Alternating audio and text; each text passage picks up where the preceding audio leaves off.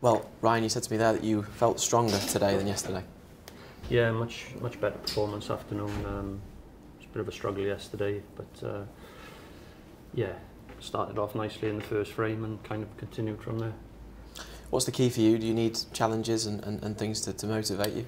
Um, yeah, I've really struggled the last few years going to the qualifying events. Um, it's a bit soulless, but uh, it's the kind of place you've got to go and just try to get a result.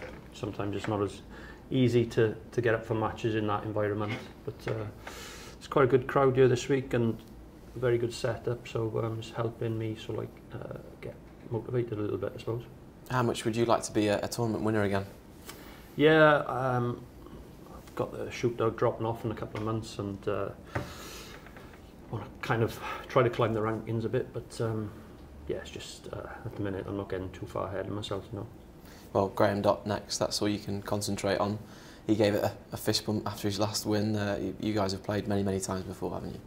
Yeah, uh, yeah, I believe he needed two snookers in the match, so um, sometimes uh, like feelings get the better of you, and he's celebrated probably as as you'd expect. But um, yeah, he's a fantastic player and gritty and determined as anybody. So I need to be uh, as good, if not better, tonight.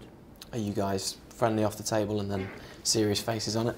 Yeah, we don't see each other uh, away from tournaments. Obviously, he's uh, he's from Scotland, so You're um, spending the weekends. Yeah, together. no, not much. Uh, but yeah, Graham's a, a, nice lad, and yeah, we always got on well at tournaments. So uh, yeah, it'll be business head on tonight for the pair of us, and best man win. Good luck, Ryan.